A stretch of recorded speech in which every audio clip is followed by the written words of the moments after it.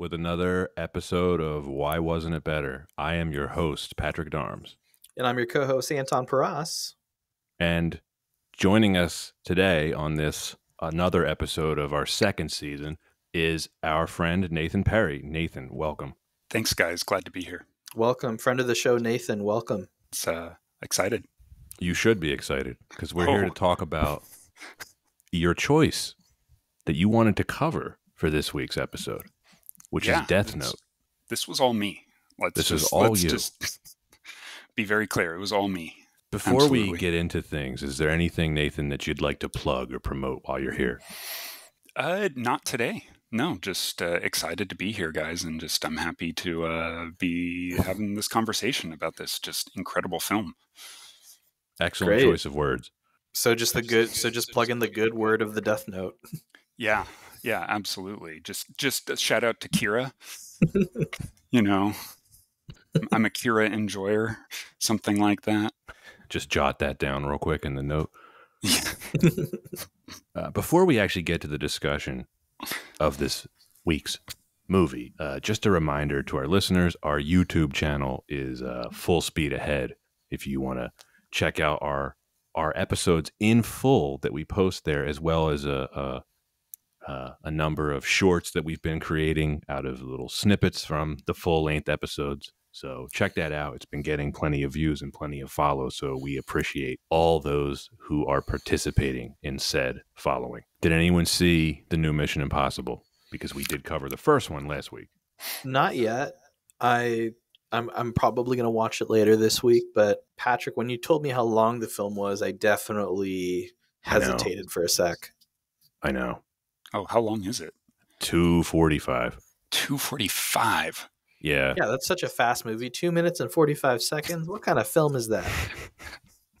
How could they even charge money? is it at least you know? Uh, hopefully, it's not too. It keeps it keeps a good clip. I hope. I mean, Mission Impossible should have stunts, stuff like that. Oh, I don't know. I didn't see it. Oh, okay. Sorry if I led you on there.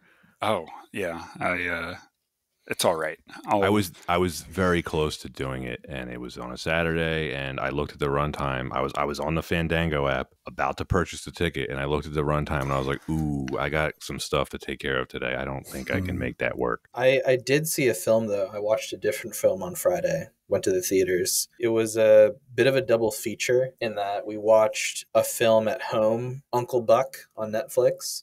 Shouts out to Uncle Buck. John and Candy. then Yep, shouts out John Candy, rest in peace. And then we went to the theaters and watched Elemental. That's the Pixar movie, right? Right, which after watching it and looking more at its reception, we've talked about Pixar films already, but it, that would be a fun current wonder review. But I'll save we'll save that discussion for later. Okay. Yeah, we can put that on the list if you think it would be worthy. Oh yeah, it's just it was it was it was fun and it really I it really did have me asking why didn't this movie do better at the box office? This was a really good movie. Hmm. I'm sure I'll check it out when it appears on Disney Plus in a couple months. Right. Give it about a week. Which may uh, unfortunately be how a lot of people treat a lot of movies these days. I'll just wait for it to show up on Disney Plus. I mean, I've certainly been guilty of that a lot, so I can understand. It might happen with me with um, the new Mission Impossible, although I do want to see it. And then, of course, Oppenheimer comes out this week, oh. which I'm really excited not, for. Not only that, but Barbie as well. Right, right. You're gonna pull a Barbieheimer, as they as the kids are saying. It's two very big films. I'm I'm very excited. It's been a great summer for movies. Uh, yeah, I ha, yes, I would agree with that. Yeah, we had Indiana Jones. we had uh, Super Mario yeah, earlier this year. Um, that that might be all I can think of, which I'm a little embarrassed about. But hey, whatever. I think we had a Trolls movie. Uh, did we? I don't know. I'll take your. But hey, you know that's not our that's not our specialty. Knowing what films are out in theaters right now. Come on. oh yeah, this just isn't a movie podcast or anything. But why don't we start diving into the film for today? Absolutely. Just so the listeners have some clarification, we are in no way, shape, or form talking about the beloved anime Death Note that came out about what was that 2006 7 Right. Uh, We're maybe talking even about- a little bit earlier. Sorry, oh yeah i think you're right it might have been a little bit earlier because I only only because in researching about this, like the Japanese live action one was 2006. Oh, you're wow, right. it yeah, might have so been the like original 04 manga re- 05 The manga released in 2003. okay there we go Yeah. Wow. History. we are of course talking about the 2017 netflix adaptation of this and we we planned actually to review this film because uh, since the manga released in 2003, we're also celebrating the 20th anniversary of Death Note. good call out Yeah. And what other what other representation to think of for of that beloved series than this than this 2017 American adaptation? Well, if we can read between the lines, uh, Patrick, can you walk us through the plot of this film? Absolutely. So, Light Turner is a high school student who discovers a supernatural notebook that has deadly powers. Guided by a mysterious Shinigami, Light can kill anyone he wishes simply by inscribing their name within its pages. Intoxicated with his new power, he begins to eliminate those he deems unworthy of life, igniting a global manhunt in the process. Death Note was released on August 25th, 2017 by Netflix, LP Entertainment, Vertigo Entertainment, Lin Pictures, and Ryuk Productions, LLC. Directed by Adam Wingard. What was that? Hat to Ryuk Productions. What, what was it? It, it- it's clearly like they came up with like, what should we name the LLC? Let's just name it after the guy from the manga. This is clearly some kind of shell corporation, allegedly. Yeah. Yeah. So it was directed by Adam Wingard, screenplay by Charles Parla Pan- Panidis. I'm gonna have to edit the hell out of Yep. this. Vlas Parlapanides and Jeremy Slater, based on the anime of the same name, starring Nat Wolff, LaKeith Stanfield, Margaret Qualley, Shea Whigham, Paul Nakauchi, Jason Liles, and Willem Dafoe. A budget of $40 million and a box office return of nothing because it was on Netflix. so, Nathan, why have you chosen this movie for this week's episode? Well, when Anton first started uh, chat reaching out about this podcast and talking uh, with me, um, you know, he he I think Anton you led with like, oh yeah, we could come up with some like movie ideas or something yeah. like that, like like come up with something, and um, definitely as I, I will I will confess, not a, not in full seriousness, I threw out Death Note as an example. Don't know why it came to mind. Just was was there you know, one for a little bit of the laugh, but also because I think, you know, you, uh, why wasn't it better as a as a subject is something that you ask a lot about when you adapt something, right? I don't, I mean, like, why wasn't, why weren't all those video game adaptations better, right? Why weren't all those adapting other media better? And sitting on it, I was like, well, anime is popular. People want to adapt it and get it out to a broader audience, right? You know, everyone, you know, in 2017 was like picking up anime and stuff like that. And this was just an interesting one that sit in the middle of I think of some other adaptations that were kind of happening at the same time and I just thought it was kind of it was a weird one. It's a weird one that's kind of been in my brain for years since I watched it. Well, I think it's an inspired choice. And when Anton told me that you had selected this one, I was kind of overjoyed. I mean, you know, I'm it seems like safe to say all three of us here are, are anime fans. You know, this is not the type of movie that I would think casual viewers wouldn't watch. They might watch it inadvertently without realizing it's an anime Right, adaptation. right. right. I, I see what you're saying. You you have to be an intellectual to be in the know. Well, um, basically, yes, right? I mean, like a- a- anime in the U.S. is a lot like soccer. It's very popular, but it's it feels very niche at the same time. It, it's one of mm-hmm. those things where there's really I don't know, other than something like very general like Dragon Ball Z. There was n- like no one ever told you like, oh yeah, there was that one summer I was really into anime. You either you either like it or you don't. You know what I mean? And Death Right. Note Yeah, is yeah, not good way to just put any anime, right? It's one of the most highly rated manga slash animes like of this century. The Yeah. original manga sold over 30 million copies, which is one of the best selling manga of all time. Mhm. And then the 37 episode anime adaptation released in uh I don't I guess I had the dates wrong. It was earlier than 2006. 2006 was probably when I saw it, but that was equally successful. And that's what became popular with western audiences. Like a lot of people that I know have seen this and love it. It just has such a high reputation. If you're an anime fan at all, there's an excellent chance that you've seen this and like this. I'll even add on to that. I think one of the interesting things of, and we can get into it on why this movie was even made, is that I think Death Note is is one of those few series that people will say, I don't really like anime. Oh, but I really like Death Note. Yep. It definitely transcends that for sure. It, Right, It's, like- it's so There- famous that even even casuals have usually heard of and it. there's a few there's a few reasons that we could look at historically as to why. And i feel like that's why particularly this film's like accessible for a lot of our listeners and whether or not they're anime fans is because they've probably heard of death note. And i did want to i did want to clarify the the the anime did release in 2006 so you were right there patrick. Okay. Hmm. The manga released in 2000, 2003 so that was when the concept was released And that's interesting that they had the live action movie then. I have mentioned the Japanese one only because I remember actually seeing that movie in theaters, like in the US. Like that was a movie that uh, someone dragged me to in high school. like a friend was like, let's go watch this because I don't even think I'd ever seen the anime at that point. He was just like, oh, I really like this. Let's go watch it. Dang, that's a good. That's what you call a good friend. Definitely. So it's a it's a it's two parts, right? The Japanese live action. Yes. right. Well, yes, it is two parts.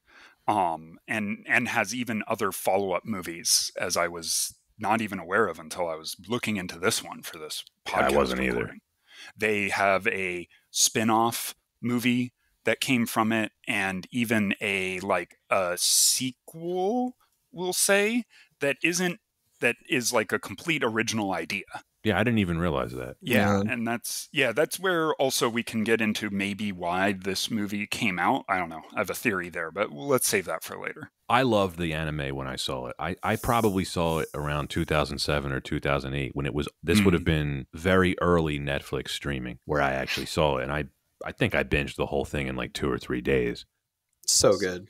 Yeah, it's it's it's definitely one of my favorite anime of all time. It's such a unique premise.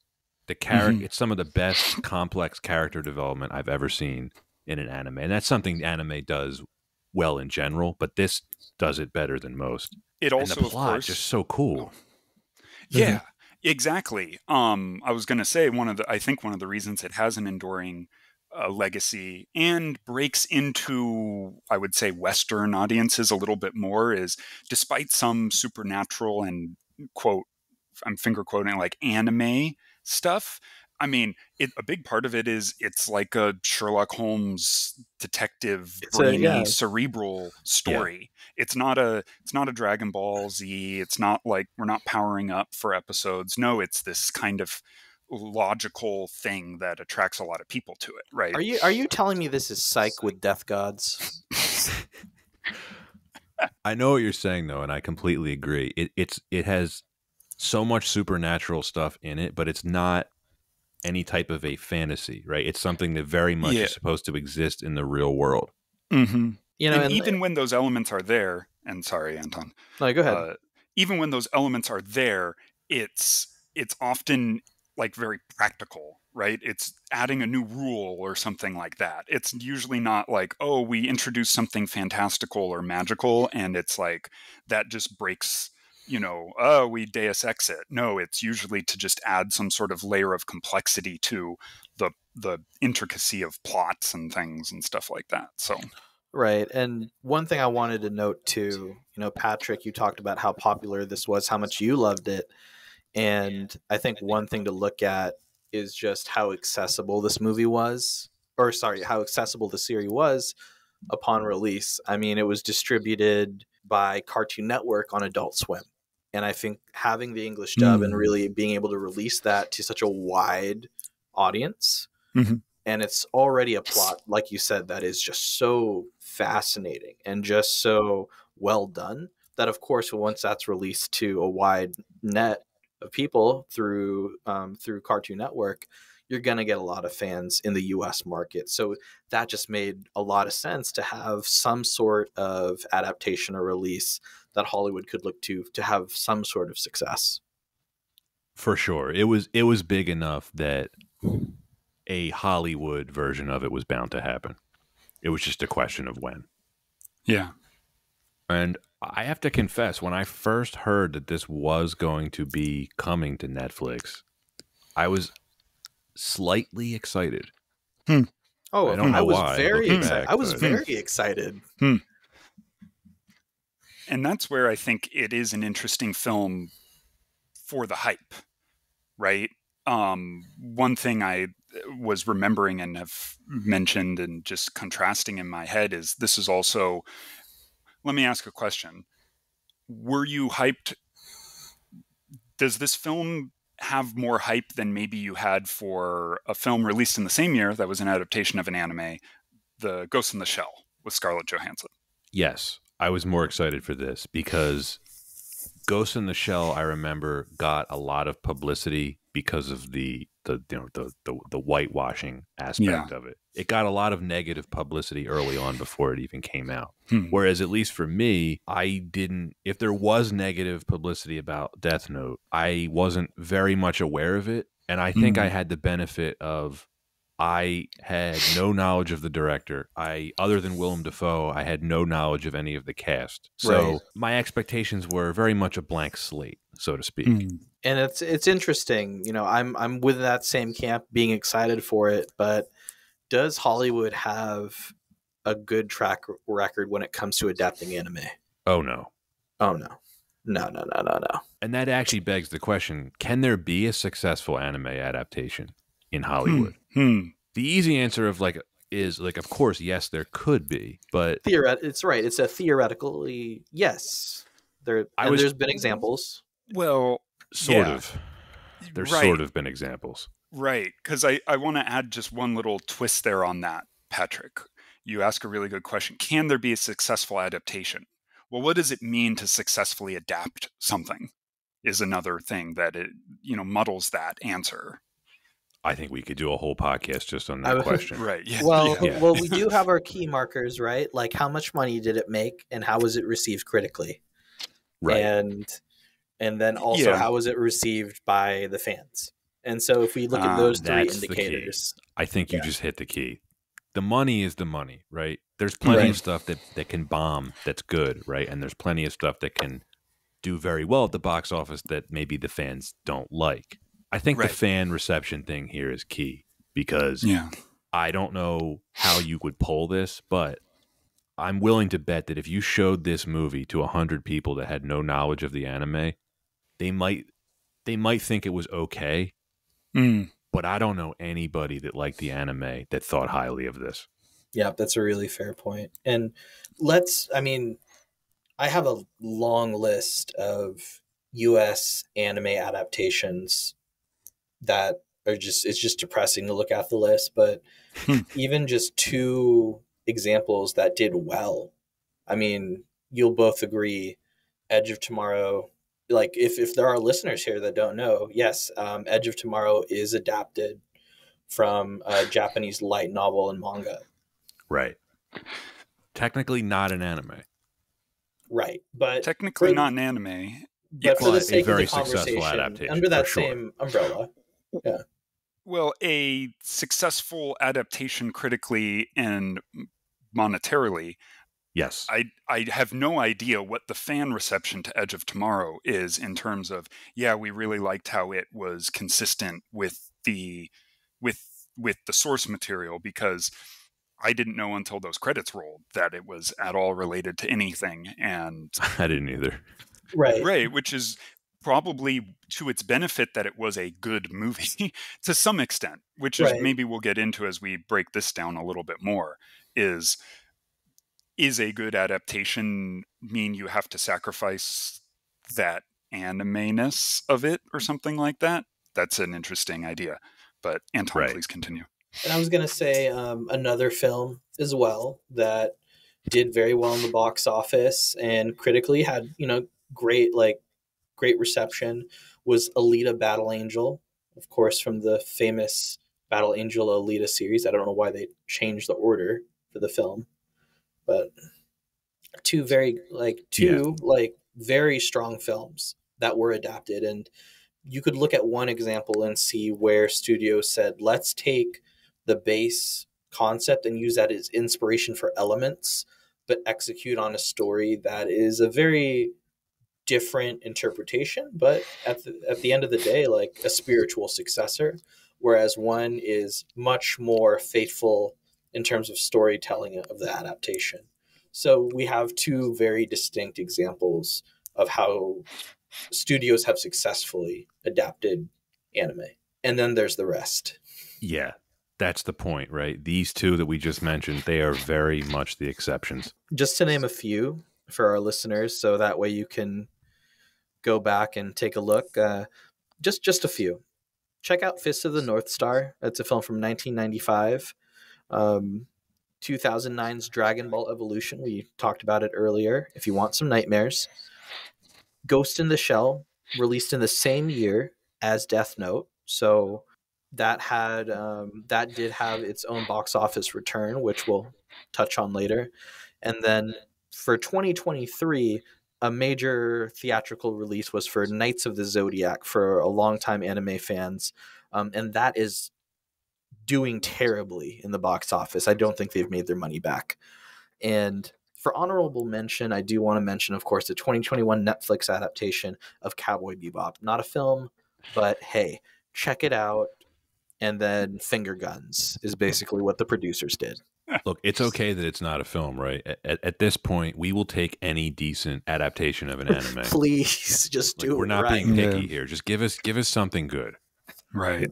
So there, there's a lot of reasons why we wanted to review this film. Let's start to dive into the production history. Um, Patrick, did you want to uh, kick us off? And So, with the enormous popularity of the manga and the subsequent anime adaptation, as early as 2007, there were reportedly at least 10 different film studios that were interested in bringing Death Note to Hollywood. An American production company called Vertigo Entertainment was originally set to develop the remake, with Charlie and Vlas Parlapanides as screenwriters. Two years later, Warner Brothers acquired the film rights, and they decided to move forward with the two original screenwriters. And I'm um, out of respect to their names, I think that's the last time I'm going to try to pronounce them. so at one point, Zac Efron, of all people, was reportedly being sought to play Light, but this never actually got serious. So let's think about what that might have been like. I'm going to assume not great.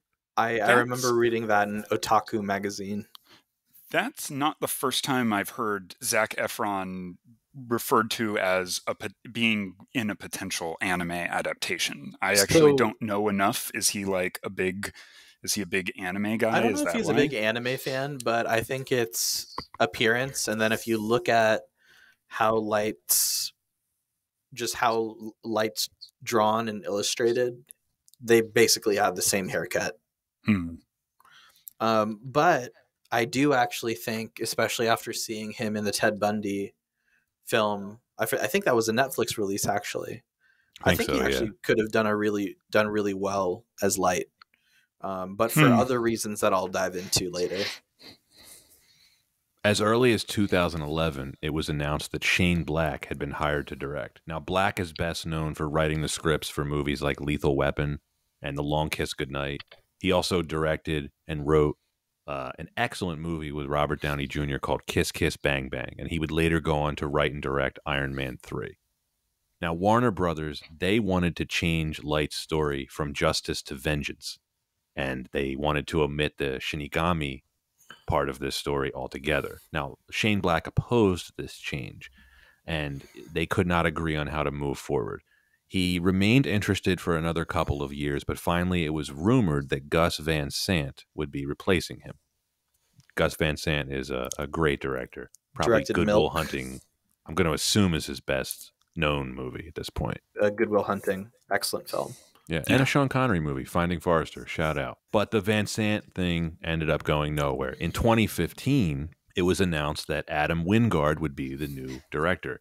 Now, Wingard is arguably best known for directing one of the Blair Witch movies. Now, from I can only speak for myself here, but I think it says a lot when you have to Google the fact that I did not know that there was one more than one Blair Witch movie. So, Well, there was the. I always knew that there was the first and then the second, and then they made another one in 2016 that was the same title as the first one, Blair Witch. Like they didn't change anything. So that's not I had. I'd never heard of it. Like, no, I, I was like, what? Another Blair Witch? Really? but it's a continuation of the first film. Did you see it, No, absolutely not. Nathan? Any? You see that? No, I no, nope. I think I we all have- think we all dodged a bullet there. I have seen one Adam Wingard movie, and that's about it. Is this the one? This is the one. Yes. Yeah, same. Uh, I uh, again, he's he's apparently doing well these days, but uh, before that, just a lot of kind of horror stuff. In April 2016, The Wrap reported that Warner Brothers was dropping the Death Note project. However, the studio allowed Wingard to take the project elsewhere. Netflix ended up acquiring this, and they announced that a new draft of the script was being written by Jeremy Slater. So basically, Netflix picked this one off the scrap heap and they decided to make it for cheap. hmm Filming began in June of 2016 in Vancouver, British Columbia, which subbed in for Seattle. Wingard addressed the whitewashing concerns over the film before its release, explaining that the film is an American take on the Death Note story. He stated, quote, It's one of those things where the harder I tried to stay 100% true to the source material, the more it just kind of fell apart. You're in a different country, you're in a different kind of environment, and you're trying to also summarize a sprawling series into a two hour film. For me, it became about what do these themes mean to modern day America and how does that affect how we tell the story? End quote. And in an I love, how, interview, I love how he tries to sound noble. he does. Yeah. Well. Yeah. like no comment. Uh, in an interview with Heat Vision, Wingard stated that Netflix had wanted to make at least two films. Obviously, we know that hasn't happened yet. Although Nathan, apparently, another one may be coming. I mean, by, it's by not a Russo brother. by not a Russo brother, yeah. Uh, like, I mean, it's it's one of those things. I mean, you things pop up here and there, right? Someone says I'm still interested, and that keeps the conversation going at least. Right. I mean, I don't think there's anything at this point to say, "Yep, that's definitely happening." Um, you know, there's often lots of talks about stuff, but the fact that it's still like something that every seems like every year someone asks the question that kind of comes up is it's interesting in light of the movie that we watched, right? Yeah. Right. I mean, it's it's clear that this was a movie designed to have at least one other movie. I mean, it's just you based on the ending. I mean, obviously, that's that was their intent. There's But nothing who else here. asked for it? Who asked for another Death Note movie? Is my question. Well, or was you it the go in. Was it the was it the fans, the rabid fans of the first one? Well, I mean, I mean, it's one of those things that probably when you pitch it, it's like we we can't do Death Note beginning to end in two hours. Like that's just like at least they they didn't have the audacity to try to do that. Um, Hmm. I mean, truly beginning to end. I mean, clearly Sure. they were they were like they were like, yeah, we'll definitely get two movies out of this. Netflix is flush; they're riding high. They're just gonna greenlight anything. Um, Especially in 2017. Yeah. Absolutely. yeah, uh, maybe, maybe. I mean, that's just conjecture, but that kind of feels. I mean, the fact that they were like, yeah, you know what, we'll we'll pick, we'll grab this. Oh, I think I think you're onto something there. I don't know about now, but back then Netflix was very much into the, the pump and dump strategy of just get just get as much Oh, right. original content out Yeah. onto the streaming platform as possible. As Throw much as we can wall. do. Shotgun what approach. sticks. Yeah, yeah. Not not worrying too much about you know because you never know what's going to be hot, right? You know, you never know that if if this little the, the little movie that that tries to adapt this anime becomes the thing that everybody loves, right? You know, there's Yeah. a there's uh, not saying this particular film, but like there's a there's a reality where that can happen. Not saying for what this film was, but there's a reality where that happens. Netflix is like, yeah, let's do it. Let's greenlight like three more films. Let's take this to the next level. Yeah, Netflix was like, let's do this. Let's also do women in prison. Let's do The Witcher. Yeah. Well, those are some examples of where things like kind of worked a bit better. Worked a bit better, right? Yeah, But, just a little Speaking of better, let's talk about why Death Note wasn't better. Hmm. bit. oh, fun. Yeah, you like that segue? Yeah. Number one, the thing that sticks out to me the most is the runtime when it comes to mm-hmm. adapting the anime. I- think I speak for a lot of fans of the anime when I say that this should have never been a movie. A series would have made more sense. I Mhm. think this was doomed from the start. I don't think this had any chance of being good the way they chose to adapt it, and that is specifically starting with how short of a movie this is.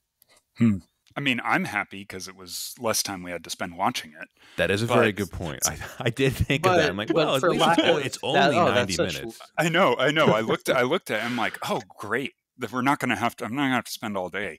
Um, But going into it blindly, it's like, this is. It, it goes by fast, and you're like, what was that? Yeah. Now, Yeah. Nathan, you mentioned they didn't try to adapt the entire story into this movie, yeah, but they did. It seemed like they were trying to fit huge chunks of it in. Well, they were still trying to get to a some. I mean, it's clear they were trying to get to some conclusion, right? In some way, Yes. Whether that's trying to develop the characters in a direction and take them through an arc, right?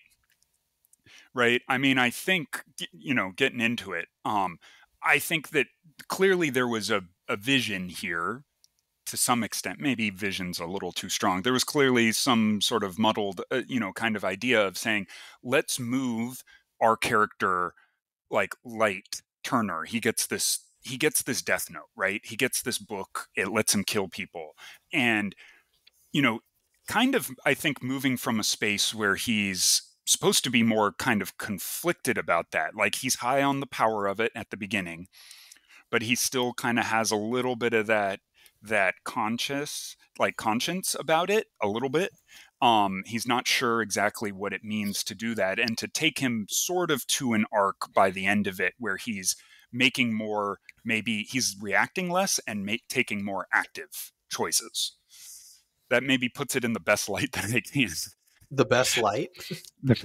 The best light Turner.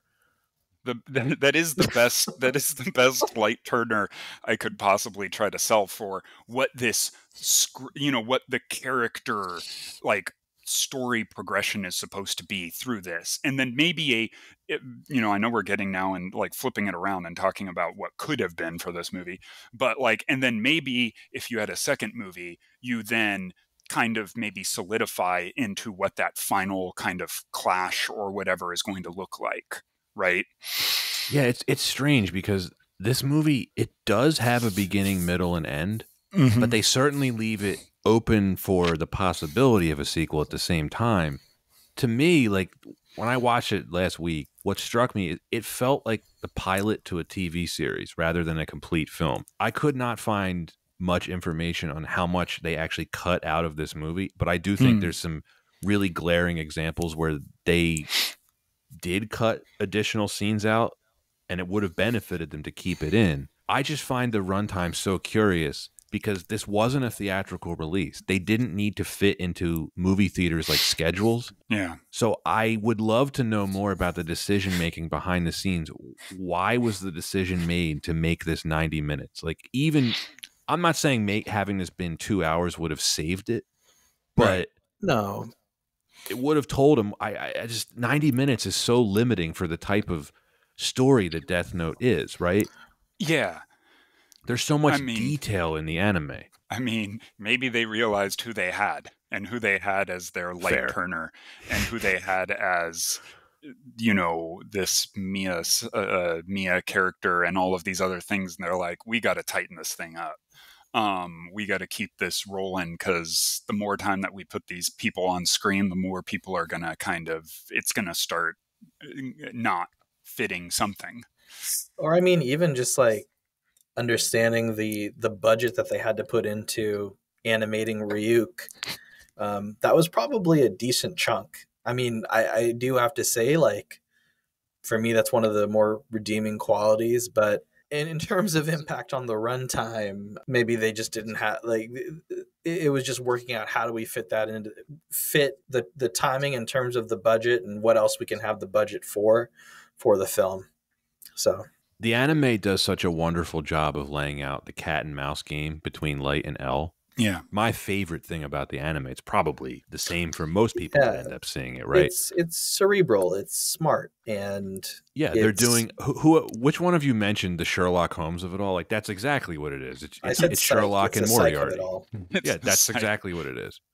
Yeah, it's no, definitely. It's it's a it's Sherlock Holmes, but turned up, which is kind of one of the interesting things I think if you think about adapting Death Note is what what do you need to do? And and maybe this is an interesting segue more directly into casting is like if you look at the anime, like you have uh you know a set of characters, especially one very unique, right? Character. Our Sherlock Holmes right? The guy trying to catch the villain, our James Moriarty. If if Light Turner Kira is our Moriarty, the the villain, Yeah. or ostensibly who should be the villain, we have our L, who's like our Sherlock Holmes, who's Sherlock Holmes is already a character known and kind of considered eccentric and brilliant at the same time. And now you've got a character that you read the manga or you watch the anime and he's eating cake and not wearing shoes and he's uh, slovenly and he's just kind of this this weird eccentric character and this is kind of this is where we get into something interesting when we want to talk about adapting anime to me which is is that something that you carry forward? Is that a flavor or are you uh, like if you disregard that when you adapt death note and you instead make it more serious you, maybe we tighten up like the the cat and mouse. But if we lose some of that characterization are you losing something? But definitely this film had some of that characterization. I mean i think that uh, l's actor really really went in for it. Right and so there's there's a lot of there's a lot of layers and depth to the characters of the original anime. Yeah. And i think you know the clear point here is how do you capture that? How do you capture the inc- intricacies with such a limited runtime? And i think like yes that definitely impacted this film. And i don't Oh. think that 90 Yeah. minutes was sufficient even Ab- for just what no. they tried to adapt Yeah, I don't see exactly 90 minutes is you're almost getting to a 1 hour pilot of like a first episode of a show. This could have been 3 episodes or something like that as an arc or more.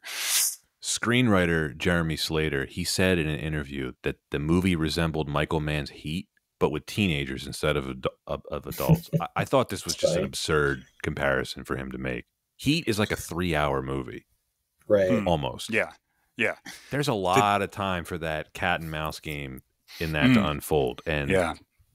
it's Anton. I was reminded a bit about our discussion about on on the first episode, the first the first movie we ever covered, Tim Burton's Mhm. Planet of the Apes. If you remember, Burton said something about his version wasn't a remake but a, a reimagining. Hmm. right I think that this suffers from a very similar problem. They said that they wanted to do their own version, right? Like what's his Mm. name? Wingard said this is like this is an American version of this story, right? But Yeah. at the same time, they didn't take the expectations into consideration Hmm. they they actually rely on several montages in this movie to, to tell parts of the story right? They montage their way through some of the most important parts of light's character development specifically how how he decides to become the persona of Kara, of kira in the anime. Think about how pivotal that is in the anime. That's just and- a japanese word for killer. Right. I'll, it'll be yeah it's sort of like a killer.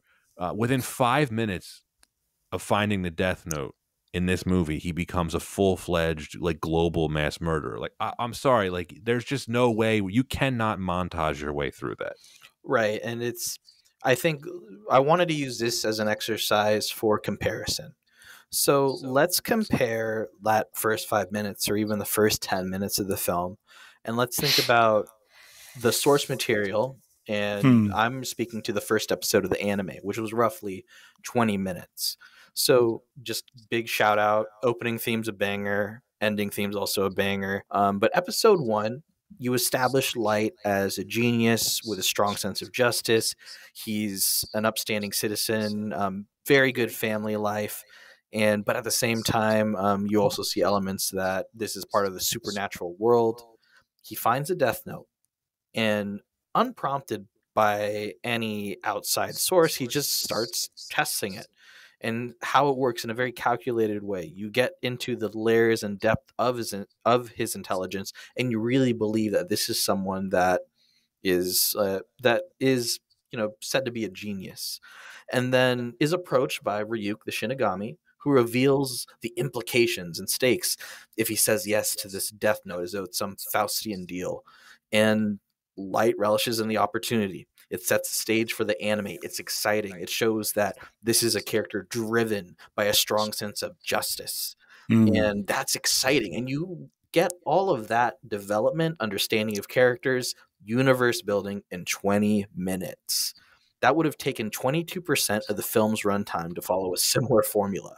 So I'm Yeah. not saying the film had to go the same route, but that's just an example of what you can get to an anime if you get out of an anime that's pacing with that characterization that's based on having more episodes put out versus trying to rush something through a full film. It's a great way to look at it. yeah. I was going to mention this a little bit later, but everything that you were talking about, like just how how much it took its time, Hmm. it's that is the exact reason why I, there's just no way I, I, a movie adaptation of this would work. That was one of the best things about the anime of how meticulous it was, how tactical it was. Like when Light gets the Death Note, it it really takes his time unfolding with Right. telling the you know the viewer how does it work?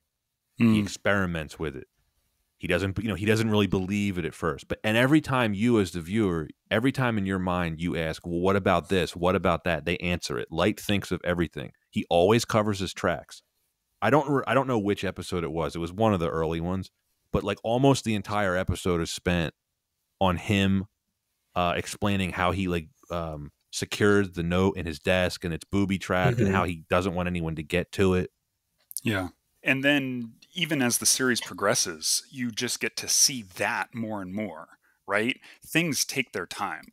I mean, that's uh, one of the things that stands out, I think, about uh, Death Note is that it's a series that is not action like in so many ways because it's all about these plans right? We get back to that sherlock holmes the cat and the mouse right? It's these plans within plans kinds of things and you get that you get that experience of like seeing it all like play out and you're like oh my gosh that was planted three episodes ago and it's now coming to fruition and you get to see how all that moves through. Yes. Whereas at this point, this really does feel feel more like you're just seeing things glossed over. You're getting bits and pieces of the story scattered about, but it's just flipping through. It's a fast run time. yeah You know, I see like in our notes, like this is. I think this is a great way to put it. It's it's basically Death Note Cliff Notes. It's Yeah, the Death Cliffs. Cliff Notes. death's cliff notes There's like no that. substance to any scene. Nothing. There's no Well- drama. There's no. There's no real. They don't earn any of the tension that they're trying to build towards because Right. they're gl- they're Right. glossing over every bit of the story. Well, we don't even really get into any sort of like what makes this an enduring series, like the mind games, right? The like plots, right? The like this is exactly as I planned kind of thing. Until like maybe they they sort of gesture at that with the ending. Gestures maybe a bit generous. Um of like finally having someone come up with a plan and executing it and it being like oh i didn't see that coming or necessarily see it telegraphed easily It very much reminds me of, of similar problems. Did you ever see David Lynch's Dune? yes Yes. So yes Dune is a notoriously difficult book to adapt. Now it, it's been adapted uh, very recently, uh, much more successfully. yeah But one of the things that I think they wisely omitted from the recent adaptation was the the characters' inner monologues, their Hmm. inner thoughts. Yeah. That's something that you see all the time in anime, and that's probably the most difficult thing to bring to a big screen movie adaptation, right? Mm-hmm. Yeah. Now, the David Lynch Dune tried to do it with um I'm going to say less than stellar results. Hmm.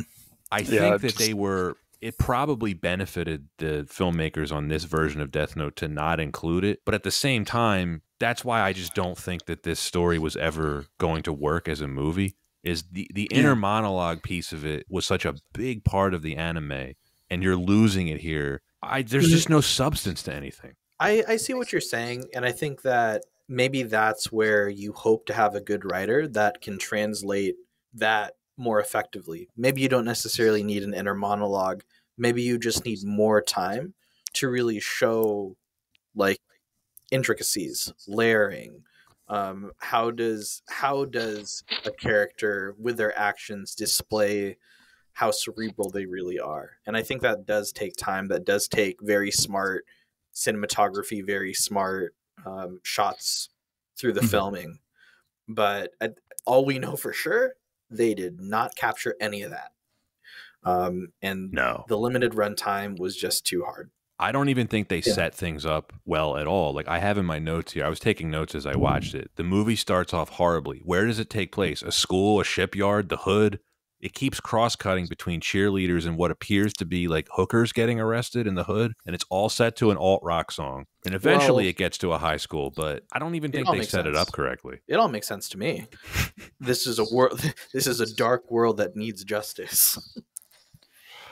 Yeah. they but, really they really sold it. but that's also, I mean, we can get into characterization and maybe where there were big missteps in the adaptation because you get into sort of the difference between in the writing at least of like is this is their main character right light is he doing this for a sense of justice or a hmm. sense of like kind of adolescent vengeance kind of like you know there, there's a very different characterization that we see from this movie I think this is starting to take us into our second reason. So, if we feel good, should we should we dive in there? Yes, I think so. yeah i think I think so. Let's. So the the second reason we've been touching on it a bit now.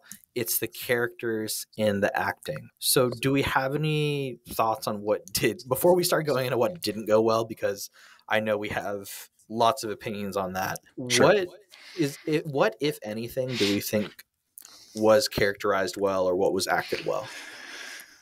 Willem Dafoe, Mhm. other than him, did we like any of the performances here? Did we like how the characters were written? No. All right, well, that's it for this week's edition of uh, Why Wasn't It Better? No, um, Willem Dafoe as Ryuk, I think he's very good. He's not in it a lot.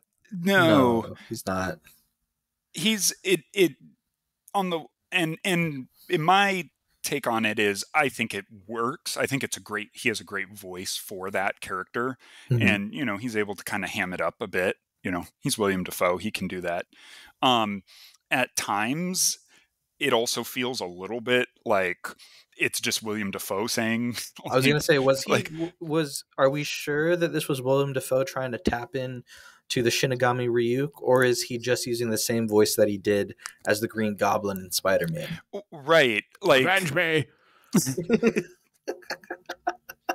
like and that's where it's it's like a little hard to anyway like i don't want to like say too much like bad i mean obviously he's in the movie for like you know 12 lines or something like that um but you know it's it's also something that at least for me listening to it there's a little bit of just that oh is this is this this character or is this just william dafoe Yeah. Yeah, I, that's I- fair. I mean, it's, i mean I it's not guess bad considering if you look at the whole package, they got that part right, Ryuk. They, they didn't screw it up, right unlike the other characters. Now, th- I have I do have an interesting quote for Willem Dafoe in an interview with IGN, and they asked if he had a chance to check out the source material before you know he committed to the film.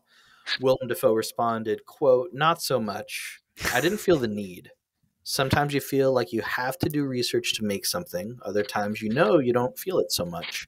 I felt it was pure if I just responded to the story, the images, and what Adam told me he envisioned." it's not a rejection of pre-existing material it's just we like to keep true to your impulses.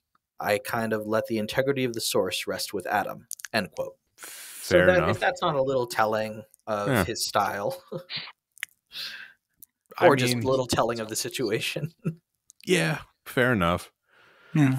I, I mean, uh, what, what are you going to do? Not say? Are you going to say no to what? Walking into a walking into a recording session for like what a day or something, knocking that out.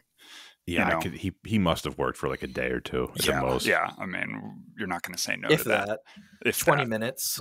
Yeah. Let's Well, talk I mean- about Light Turner and how smart he is. You mentioned he's a genius, right? Uh, in Anime- the original source, in the original was gonna source say, material. You mean Yes, you mean yes. light Yagami? Right. Uh, his intelligence in the anime was matched only by his ruthlessness, right? And at one point, one of the coolest parts of the anime for me, one of the most memorable parts is um, it's pretty early in the series. You remember when Ryuk is like surprised at how ruthless he is? yeah, Yes. He like impresses him. yeah. I didn't see any of these qualities in Nat Wolff's portrayal of this character. Now, uh, I don't know if uh, you guys uh, watched a couple of uh, interviews that Nat Wolff gave about this movie. In one of them, he stated that Light only kills people for no reason. I, I don't think that he actually watched or read the source it. material. Or the movie that he was in. Yes. Apparently, uh, film critic Brian Tallarico, he stated in his review, which was negative, that the film failed because, quote, it refused to make Light the anti-hero that he needed to be, end quote. I actually agree with this. They don't really seem to commit in this movie to like Yeah. what they actually want Light to be. They they seem to try a couple different times to make him out as some kind of good guy. Mm, Like, oh, he's Mm. not in control. He didn't know his girlfriend would do that. did that. Yeah.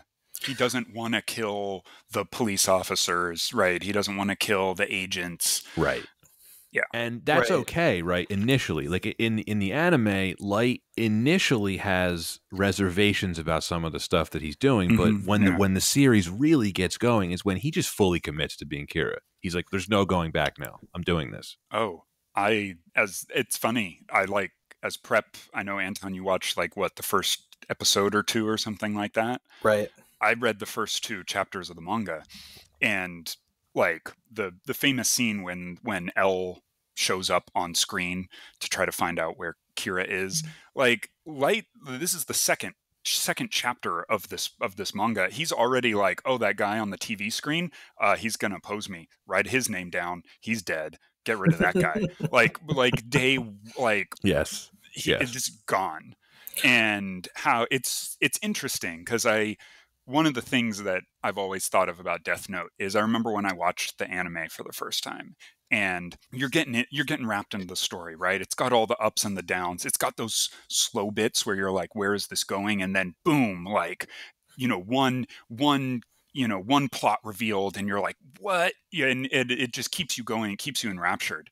And so much going on and i don't want to get into all of like plot of what the original series was but i remember getting to the end of it and sudden, having the sudden realization that i'm like wait a second. I'm cheering i want i where i Mhm. realized i was like cheering for light as a character like i was like anticipating and looking forward to him succeeding and stuff and i'm like wait a second isn't he the one who's like murdering like people all around the world and is like the an- the antagonist by all accounts of this story i wouldn't say i ever got that from the light turner in No. this film No. there is no point at which i could see him being the character that i'm like oh he's like the depth uh, the or not maybe not the depth maybe that's the wrong phrase but like oh he's the character that i'm like that i'm like uh, conflicted about how i'm like cheering for him And that's honestly, I think that's amazing, right? That they were able to write such a riveting character and they're able to Yeah. write such a riveting story. And before I start to talk about characterization and how important that is with the writing and the characters that they adapted, I do want to cut some slack to um, Nat Wolff. Let, let, let's cut the guy some slack. No, he maybe he didn't read the source material but I'm also not entirely convinced he can read. So let's just put that out there. But really, I wanted to talk about, you know, we've been touching on a lot characterization of light and just characterization of just in general. When we're adapting, it's important to think of what made the original characterization and how it was written and displayed in original media so popular. What Hmm. we had in the original anime was Light's character was someone who was so well liked and intelligent, and for all intents and purposes, a model citizen. And that crafted so well for a very complex sociopath anti-hero that justified mass murder in the name of justice. And that to me is a much more interesting character compared to what Netflix greenlit, which was essentially an angsty Hmm. teenager who's kind of smart and portrayed as more sympathetic and regretful of his actions. So basically, they created a more flawed human being, sad boy, versus a Zac Efron master detective, Ted Bundy. And maybe they thought it would hmm. resonate more with US viewers, but Yeah. who would watch that? Who would really want to watch that? And it's just such a shame that they had already such a strong characterization in the original source material. It's funny because, like, what you described as isolated sad boy who gets this power to murder people, and it's now the hunt is on. That's clearly the villain in your movie. That's clearly the person that you're like. They give the sympathetic backstory to, but you're rooting to go and have like defeated, and you're just you know. And you don't even maybe even really follow them. You give them the really sad, tragic backstory, you know, all this stuff, and now they're angsty, and they're they're your they're your bad guy right? They're not your lead. Right. That's what this movie fails completely at is Mm-hmm. to your point, he is very clearly the bad guy in the anime. Mm-hmm. But it's such a well-written character that you find yourself rooting for him regardless. yeah, They didn't even make an attempt to do that here. They they try to make him sympathetic, but the stuff that he's doing, I don't think there is a way to make that sympathetic. They never fully Yeah. committed to it. either they'd have to really recharacterize it. I know that you know from interviews and kind of discussion. Uh, apparently, uh, the director Adam really was trying to make his girlfriend the sort of dark side of it, which honestly just sounds terrible and just and was terrible and just complicated and muddled the whole characterization like you're trying to split someone into two people and have a conflict about that especially a conflict that never existed in the original source Right. material Oh, we'll get to her. Don't worry. yeah yeah yeah I have another quote from Nat Wolff for you. Quote Light starts off as someone who sees himself as the hero. As the movie progresses, he realizes he's not in the right. End quote. This is a major flaw depict- depicting Light. We already touched on this a, a little bit, but once in the in the source material, once he conceived of the Kira idea, Light never doubted himself. He thought of himself as some type of god, as like justice personified. And it's so out of character when the movie when I, he says something like to uh, Mia, like "We're not the good guys anymore." He never Mhm. had that kind of self doubt in Right. the anime. Now, that's Yeah. not Nat Wolff's fault, right? That part I won't blame him for that. That's just how they wrote this. Mm. But he's supposed to be smart, right? Well- This is the part where we can talk about how smart his character is, or maybe is not. Well, I think that in order to fit their characterization as this sort of flawed human character, he needs to be reacting to things, not in charge of things.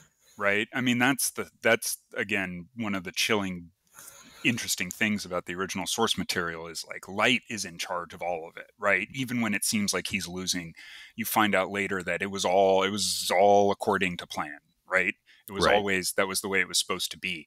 But instead in order to make him you need to make him more of a dunce right? Oh i didn't realize my girlfriend was doing this. I didn't realize that they were on to me. I didn't realize right? He has to and thus you undercut this idea of him being you know brutally efficiently intelligent. Yeah, and they they kind of botched at the end too, because the end seems to imply that he had all these things accounted for, but Yeah. that doesn't really make sense when you're watching the movie because he gets caught off guard a, a lot.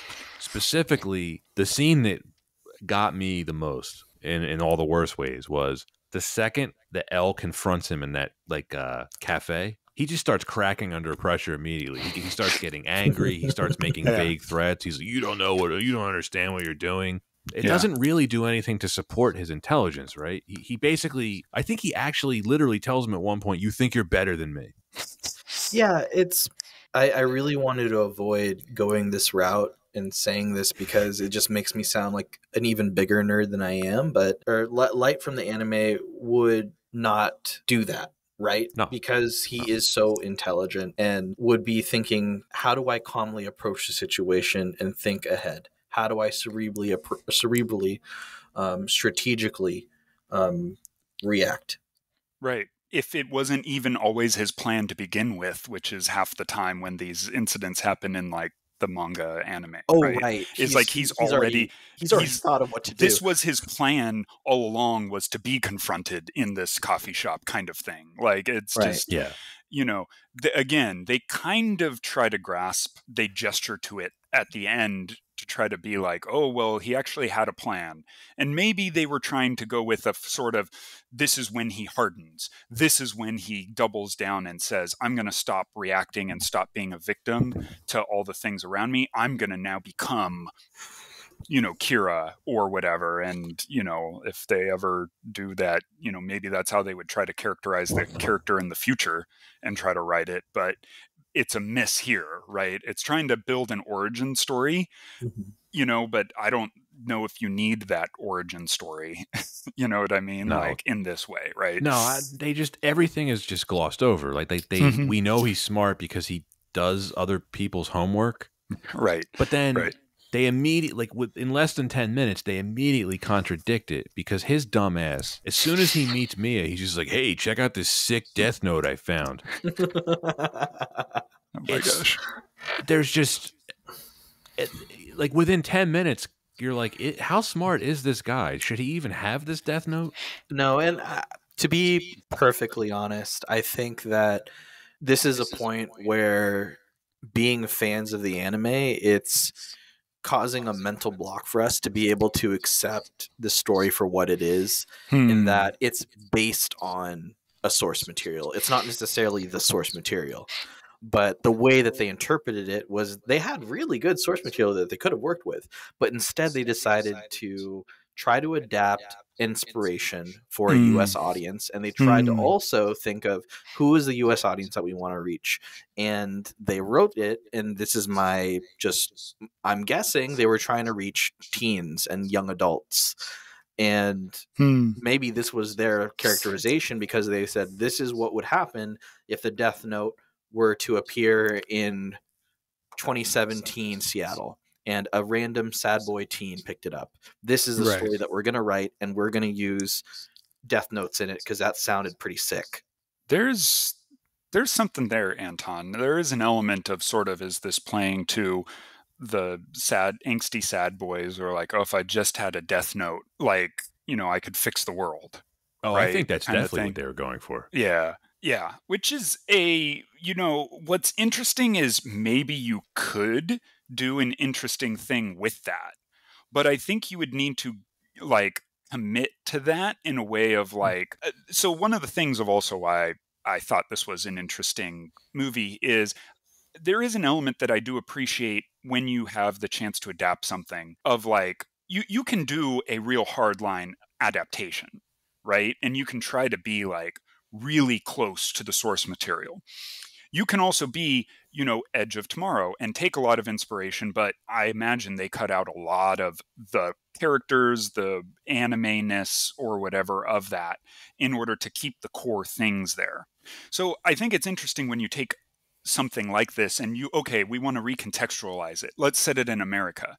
I don't think that's like a bad thing, right? I think that you can do that and you could do that in a way and but it's this this sort of half mixed thing, right? It's sort of like well what Yeah. are we really what are we I mean, do we really just need to take this and okay, you shift it to America but repeat everything else about it? I understand where from a writing standpoint that may be feel boring or may feel like a lack of, but instead you produce this, right? Right. You, you, you get a, a, essentially a watered a watered down uh, story of Death Note and a watered down teen romance. Yeah. I mean, It's like part Twilight, part Final Destination, and Yeah. a little bit Yeah. of Death Note. it reminds me also there's just a tad of it of like it also made me think of uh, chronicle Um, oh yeah, just a little bit. I, I can see of- where you're going. but in a weird way, if they had doubled down on that, like maybe it could have at least made it more consistent and interesting, right? I mean, I, we can get into all sorts of what ifs, but if you kind of reshifted how you wanted to spin this movie, maybe you could do it in a different way. But instead, they kind of came up with this where they still wanted to make Light the main character, but wanted to try to make him something that doesn't fit the story. Right. They instead they wanted to write in a light that was a complete spaz. Um, let, and re- His- and reacting to everything his- around him, right? his screaming just- His screaming when he first encounters Ryuk, genuinely like, hilariously bad acting. He's, Oh, yeah. or when he sees the um, beheading scene of the bully, his reaction total overacting. yeah, he's uh the storytelling stuff that they screwed up is pretty unforgivable. But they didn't even like they didn't even get the basics right. Like, did you at least hire a good actor? Uh, no, right, No.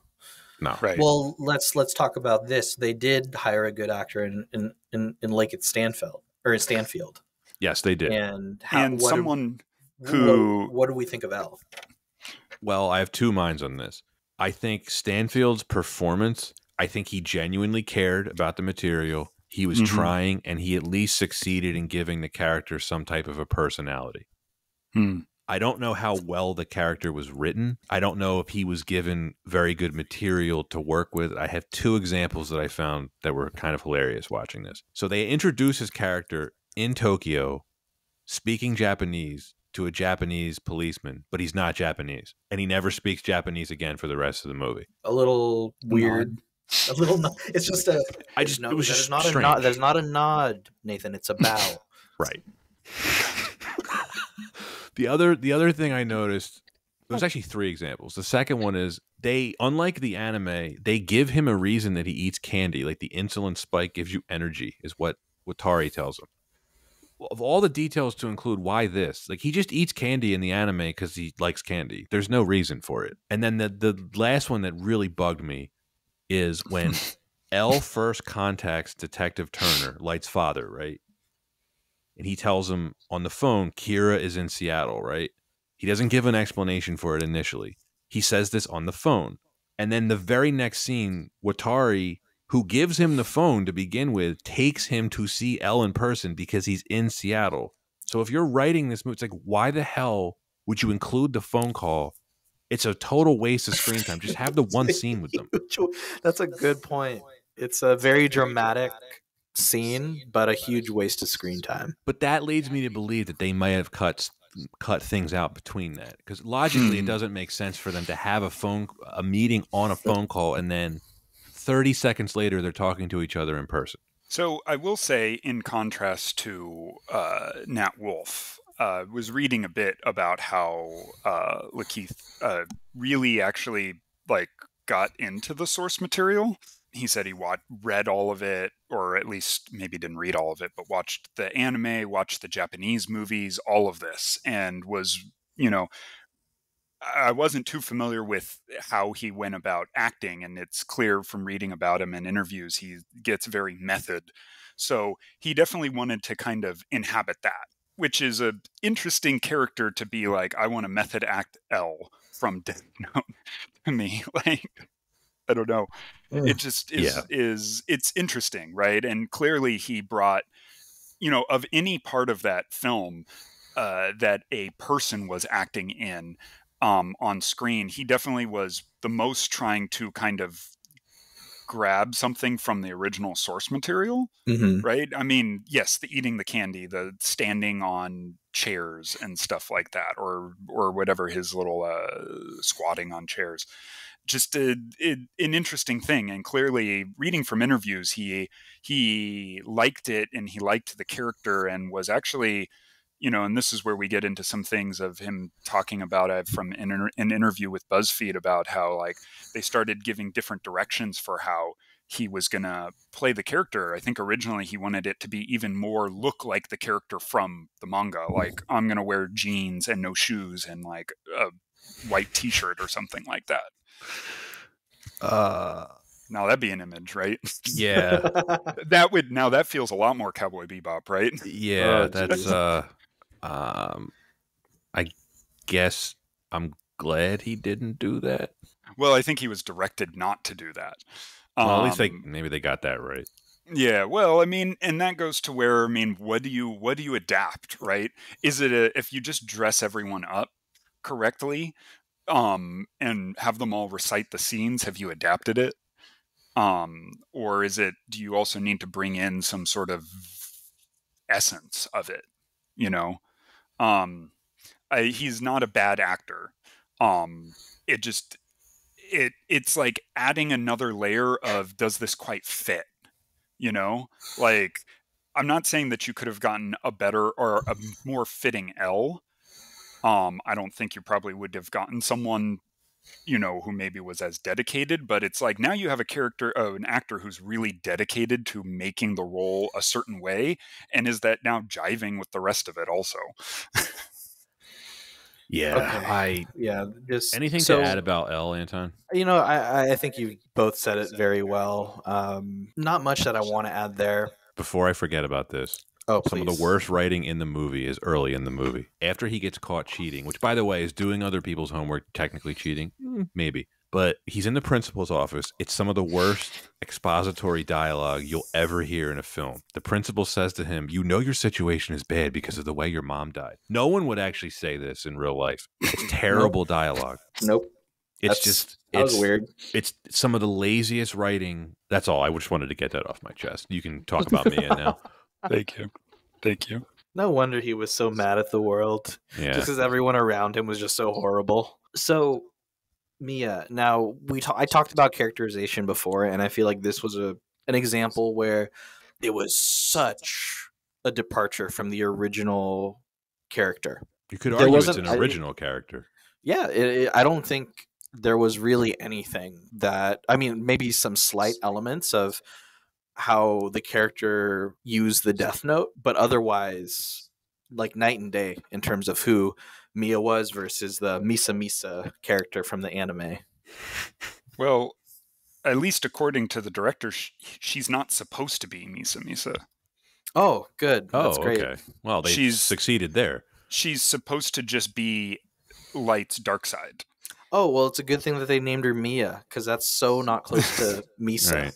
She's supposed to be the the the dark cheerleader. Well, we know she's dark because Yeah. when she's introduced, she's walking around cheerleading practice smoking a cigarette in slow motion. So you know she's edgy. oh yeah and in general she's just very wild we can all agree like this is loose cannon of all loose cannons in this terribly film. written. yeah No, from the very second she's introduced, she's presented as just this obvious liability. Hmm. Like the, I think one of the first things she says to Light, she's like, "I wish I'd seen that bully get decapitated." what a freak yeah, I And know. he's just like, "Oh yeah, mm, that's normal." Yeah, he's like wow she's hot yeah. Check out this sick Death Note I just found. but like you know i said it before it's it's not something that the original light would put himself into a situation with trying to impress this girl while acting as Kira because that's just a huge liability, right? Again, we're trying to see this from a different lens. I mean, you touched on there's a love montage of Light and Mia talking about solving all the world's problems. I mean, who didn't love that scene of just two high schoolers like thinking they they can solve everything but oh, yeah. Like yelling at each other like and I think there was like one where he's like writing in the book like look what I'm doing isn't it great? How and, best and to solve like, the world's problems than a global conspiracy involving mass murder? right. Right. So they're very twisted characters Yeah. and I th- I I just want to go back to who was this written for? Yeah. I'm con- I'm convinced this was written in a way to appeal to a younger audience and that's why they even had this teen romance angle Hmm. adding forced love interests to appeal to a wider audience is common, but in this case, it was interesting that they tried to weave it in with the storyline and including elements from the original source material. Misa Misa was way more of a tool of light than Oh, how Mia was portrayed in the film, who's like for all intents and purposes like right you you said it Patrick the, uh, the or the dark side of light but it could have been it, it, could have been better I feel like even knowing even knowing how it ended up being written and executed and characterized I do actually think that this could have been pretty interesting a secondary antagonist. If your character is someone that's reluctant how do they achieve a, an arc of true villainy or anti anti-hero moving on from Mia and becoming more like light in the anime truly accepting his sociopath mass murdering rampage Right. The thing um, we're all waiting with bated breath for. which like maybe that could be interesting if that's who they write maybe and maybe he's more calculated and strategic and he doesn't make the same mistakes again maybe Hmm. that's the interesting thing that we're looking for Did we did we close out reason number two? The characters, and the acting. Yeah, I don't know what else there is to say. None of it feels inspired or anything like that. No. right i think we're i think we're good to move on to the next reason Cool. Yeah. Yeah. So number three for why this wasn't better, the production does it work as a movie, right? So let's try to ignore what a poor adaptation of the source Mm. material this this is. I, I always try to do this mental exercise when I'm watching a movie like this that's that's Mm. adapting something quite famous. Like, all right, well maybe it doesn't work as an adaptation. Does it at least work as a movie? I don't think it does here at all. I was trying to figure out like, well, what does it do well? Outside of Willem Dafoe's performance, I don't think any of the acting's particularly convincing. I don't think it's paced well at all. Everything felt rushed to me, compressed into this 90 minutes. Hmm. I don't think it's edited very well. There's a lot of things that don't add up. It feels it feels choppy. You can clearly tell there were scenes cut out. Yeah. There's some stilted dialogue. It's not particularly well written. And I think the ending, it doesn't even try to really, I think, successfully even complete its own story, right?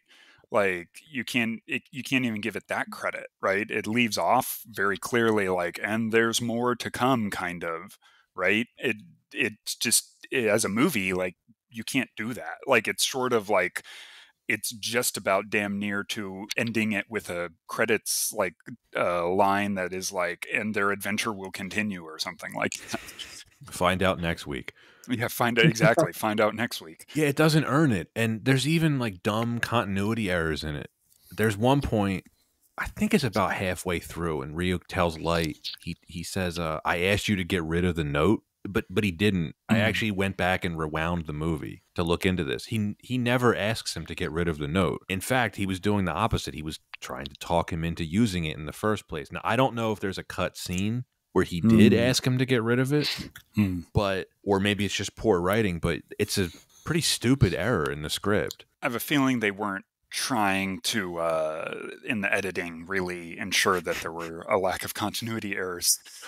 Like Uh, like you said right. like you said patrick they were phoning it in not just the acting but on the editing floor as well That's what it felt like. Yeah. The whole climax of this movie too is uh, pretty absurd. There's a lot of slow motion, there's a lot of montages. Hmm. The thing that bugged me the most, I think, about the climax was L just randomly catching up to him when he's driving the police car. Yeah. It doesn't really make sense. Like, how did he know where Light was or where he was running to? I don't know that the writers actually watched Death Note when they wanted to adapt this. I'm not convinced of that. hmm. Well, yeah, they wouldn't want it to get in the way of the uh, of the uh, inspired, you know, work that was being done. No. Guys, how did how did you feel about the music choices that were inserted into this? i mean generic and meant to appeal to a wide audience and kind of dumb And how best to connect with a 2017 young adult audience than ending your movie with an Air Supply cover of a Jennifer Rush song? hmm. I will say that I wasn't sure if that was a weird sort of like nod. This is just a weird factoid that has been in my brain for probably 15 years because when I watched the 22 or the 2006 Japanese one, the credit song was Red Hot Chili Peppers Dani California. Interesting. And Yep. I wasn't sure and that's a real thing. And I wasn't sure if honestly when I watched the end of this movie I was like are they like making a reference to that like in the sense of like we're we're picking like a music thing that is just like is this really is this really the choice that we want to make for the end of the movie Can I interest you in a highly inappropriate pop song? yes I did not know that. I've never seen the Japanese one. That's interesting. it was i remember seeing it at the time in a theater and i'm like oh is this just sort of like a weird localization choice they were like oh you know what? We'll just put a we'll put an american song for it was showing in american uh, theaters. But nope it's the real it's the real ending song which again totally fits the uh the themes and style and characterization of death note. So they got that working at least. There's there's uh something I noticed. So when Light uses the notebook to take control of Watari, right? And he has Mhm. he basically has 48 hours to live. He takes a train from Seattle to, to New York. Did you notice this? A train, an Amtrak. So I, I I googled this. You can actually take a train from Seattle to New York. It's it's about 70 hours. Um so quite slow. hmm Just have him take a plane. Well, maybe he took the train to like a few hours out, then the plane or something like that. I don't know. Still not make sense. No, it doesn't make any sense. And then Mm. maybe maybe one of you can fill me in on the ending, right? So L finds the page from the notebook, right? Mm-hmm. And it ends with it's implying that L is considering using the note to write Light's name in it, right? yeah, That's what that's how I interpreted it. sure, yeah. But as most people would, because he's like right. staring at a picture of light and being, you know, like staring at the page and like it's not a hard read.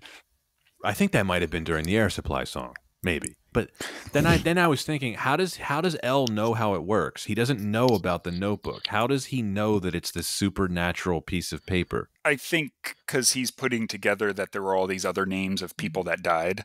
I guess it's I, the hard the hard bit is yeah you can't it's very hard to separate that you also have a character that again talk about characterization that is uh, like really liked again for a lack of sort for a cold calculatedness right? And not an emotional reaction you know space that is you know like if it was the anime, he would have sat down and explained over 12 minutes about how he hyperanalyzed the situation and figured out that the only logical conclusion was that this notebook, when you write someone's name on it, it killed them or something like that. perhaps.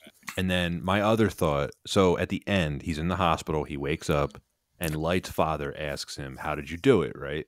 Mhm. And he gives this long recap of events that that that really fill us the the viewers in, right? Yeah. but he doesn't really answer his father's question. He wanted to know how you like killed people, but he Light tells him like the sequence of events that lead up to him being in a coma in the hospital. He like he I think he at one point he refers to the death note in his like speech, but he doesn't explain it. So again, how would his father have any idea what he's talking about? Like the, the correct response would have been like I used a supernatural notebook. Yeah. Yeah, you could even do a weird recap of everything, but it's clearly for us, the audience, not directed Right. to what it was. Because So- we rushed telling the story of this movie, here's another montage. Yeah. I mean, again, they're kind of gesturing at a sort of like classic from the anime, like Light explains how this was his plan all along kind of thing. But it has none of the impact. It has none of the like mm-hmm. gravitas of like, oh, the brilliant, the inspired brilliance of how you had the plot within the plot and how this was all exactly what he was going for. There's no Right. big reveal. There's no No. insight no- into the the maze that is this man's mind. It is Right. literally just Never sad. mind that I feel they really, really copped out on. You know, I don't want to. Obviously, you can contrast and compare. I'm okay with them maybe playing with the rules of the Death Note or something like that, but it was a really big cop out that you can basically make things literally as specific as you want. I mean, like to the point of like, oh, and then it will happen exactly like this in this way to make it Mhm. you know burn my name from the page and like it's just like a little too now powerful like it's almost anyway not to say that the death note is an incredibly powerful thing as it's presented in the source material but you did have to do some things to get around it at times That's true. Any other Um, thoughts from either of you on the production. Does it work as an actual movie? Not this No. one. And as we talked about, I'll just reiterate from the beginning. I think, as you mentioned, Patrick, like uh, the, a movie of this doesn't really work, right? I Mhm. mean, you need more time to or at least tease one these movie. things out. Well, or or a longer movie or something. or Like- something. I mean, or- I, I I agree. Like, at least the way this one was done, it's not an easy task. I'm not of. I'm not going to say like it's impossible. I mean, Patrick mentioned Dune. I'm sure there are a lot of people for years that thought, "Oh, it's impossible to adapt," Hmm. and we saw a really good version of it. And Yeah. so I don't want to just assume that it's impossible, and I want studios to still feel like that they can take these risks even if these did not do so well. But it uh, didn't look so hot looking at this film. No, and that brings us into our conclusion of this episode, which is the section where we we give our rating and and you know state did we like it. So Nathan, as our guest, would you like to go first, last, second? Sure, I can go first. You know what? I brought this upon us. It's, Take it away. I can at least say. So, did I like this movie? No, I did not like this movie. I, I, for all the reasons we've talked about, I don't think really any part of this worked. And it's, it's, it's a weird thing because it's in some ways more disappointing than a lot of other things because you, you want you look at a lot of these ideas, right? A there's there is a potential here, right?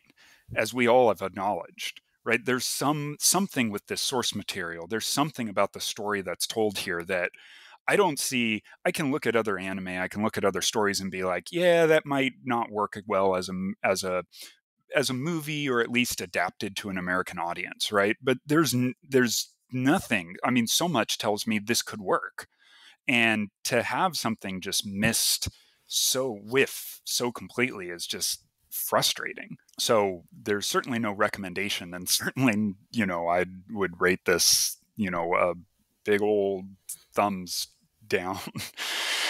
A to F scale. a to f. Oh um uh this mm, yeah probably i'm gonna go it's hard for me to do such a superlative like exacting thing but uh yeah an f i don't see anything really valuable about this Uh, Anton, I'll I'll go first here. Mhm. So what I would say is I understand that in any adaptation things are going to have to be changed, right? You can't do everything one to one. There is so much stuff in anime, in animation in general, but particularly anime that really only works when it's animated.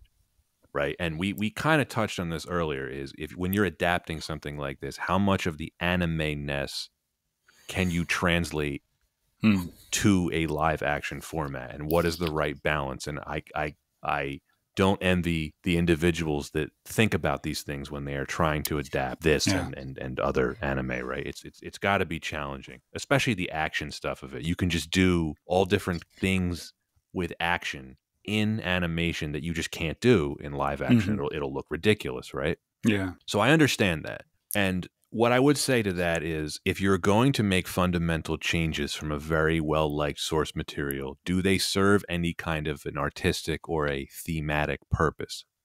For this Death Note, I don't think any of the changes were justified. There's no improvement really from anything in the source material. There was no point during this movie where I thought like, oh well, that was really cool, or they really did that well. Except for, I mean, Willem Dafoe as Ryuk, fine, good. I think he did a good voice performance. But to me, this was just not even a serious attempt by Netflix. Yeah. This was a this was a very much a pump and dump project for them. They bought Hmm. it for cheap. They made it for cheap. They wanted to release it as quickly as possible. This had a very quick production too. I think when they started shooting to the release date, it was like less than a year. So that's Hmm. not a lot of time. But at the same time, I don't think this movie's a failure because it wasn't necessarily faithful to the source material, but it is a failure as a movie. It's one of the worst movies I've seen in the past 10 years, maybe, maybe Hmm. more. Uh, The best part of this movie to me was the ending because it was over and I didn't have to watch it anymore. Hmm. the, the biggest indictment of this for me is if it wasn't called Death Note, there's no possibility that I even would have gotten 30 minutes into it. This is a very much a lot. It reminds me like a lot of the run of the mill Netflix original movies that I've seen. Only Yeah. this one happened to butcher one of my favorite animes of all time. There's no possibility of me ever rewatching this. Uh, Nathan, I completely agree with you. And Anton, this is the first F rating that I am issuing on this podcast. Huge. This movie is abysmal. Wow. Yeah. Yeah. I mean, I think you, yeah, you put it very well. There's, I don't envy trying to take on the difficulty of adapting like something, the anime-ness and having to do that interplay, but there's not even, I feel, a real attempt here. Yeah. Yeah. So well said. Well said, Patrick, and well said, Nathan. Uh, I'm going to go ahead and just start by saying we started out with looking at examples where US adaptations of anime succeeded. And we observe that there's such a long list of adaptations that don't do well. This, of course, this film is on that list. And I just want to put it out there it's hard. It is hard to meet those expectations when there's such a hype and love for the original source material and being able to adapt that faithfully, whatever that means. Um, is is is hard. It's difficult, and so I have to say that. But I do think, and I do agree that this was not the most wholehearted attempt to really make a proper adaptation. And there are examples that we see of that. And my personal preference was for the characterizations of the anime, the characterization of the characters in the anime. Those characters made sense for the story and the story that ended up being told in the 2017 film was just not one that was riveting or one that really enticed me. And it's not even so much that it was a poor adaptation, but the fact that it was just a poor story being told. Mm. And I feel like that's just what's so disappointing. But having said that, I actually do really enjoy watching the film. Like, not a lot, but like, really? give it another year and I'll watch it and like laugh at it because there are, it's just cheesy. And so like it's not in that level of so bad it's good, No. but it, there is like a level of like oh god this is so cringy, but uh, let's I can laugh at this. And at the same time there's a bit of a tinge of hope from my uh in on on my end that I hope that maybe this gets more streams, maybe this gets more buzz.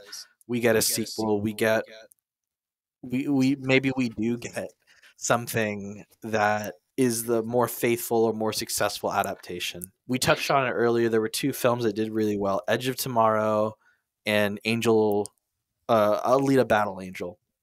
Two examples where there was a more faithful source adaptation and one that really was more like a spiritual successor. I hope that whatever story they decide to tell, they just really think of how to tell a proper story, how to really build proper character development, and just keep people excited because it's a it's a great it's it's a great uh just source material that is just a shame if they can't capitalize on it. So I give it an F plus. I know that's not a real grade.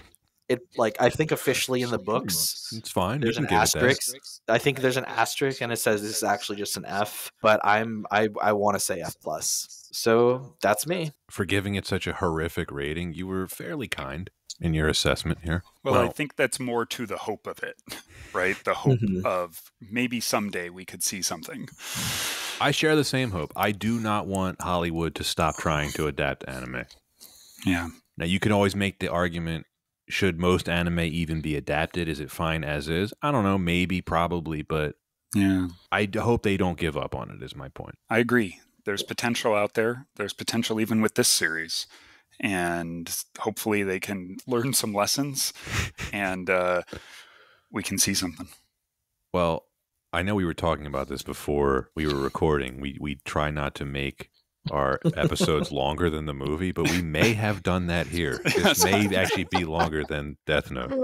Uh, that's I, I like to think it's because we're having such a good time. We're having a great time. Time. Yeah.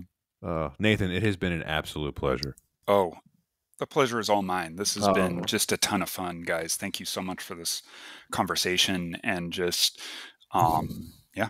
Thank you so much for being here, man. Really, really appreciate it. Well, that is it for this week's edition of Why Wasn't It Better? That's uh all we have to say about Death Note.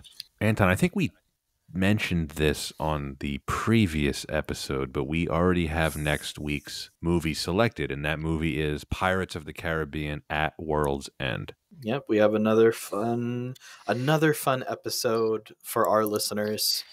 So Yeah. And then I think let's ready to you- set sail. Yeah, you may have. Did you pick a Bond movie for the one after? I that? did.